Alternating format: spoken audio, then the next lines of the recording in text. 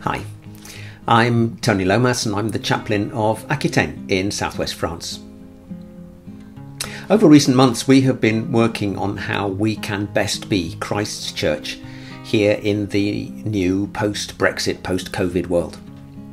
Our chaplaincy is made up of something like 14 church groups spread over a huge area of this beautiful part of France.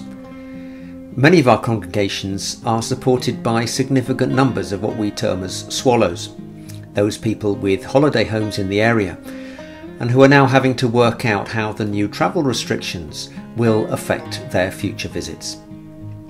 So please do pray for them as they come to terms with this new relationship. Over the past couple of years, we've certainly learned a huge amount about electronic communication. And this has actually brought us together in an unprecedented way.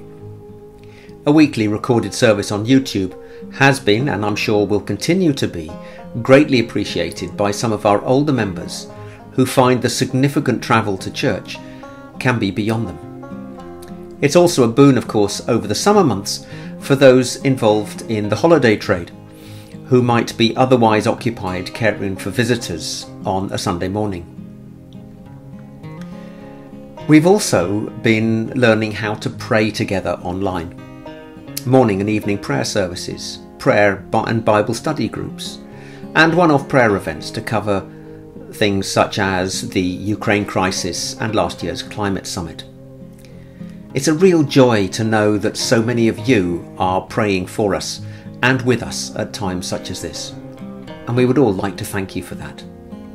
And we too will, of course, continue to pray for you, our friends and partners in the ICS family, and for Richard and his staff.